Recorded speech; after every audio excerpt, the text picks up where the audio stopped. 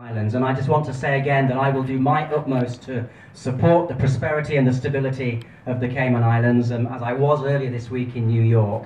Um, and I will defend your interests and ensure that London very much understand the views of, of, of people here um, and that that is, that is fully understood.